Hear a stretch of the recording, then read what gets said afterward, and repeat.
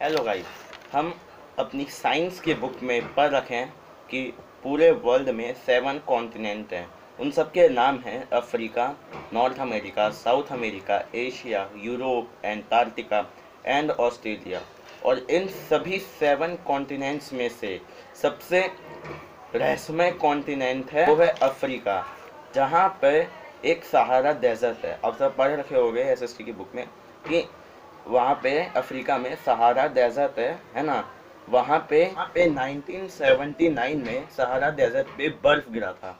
अब वो कैसे गिरा क्यों गिरा कहाँ से गिरा वो अभी तक कुछ पता नहीं चला है क्योंकि डेजर्ट में बर्फ़ गिरना ये बहुत अलग बात है मतलब।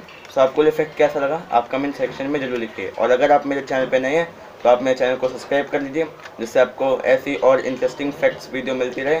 Thank you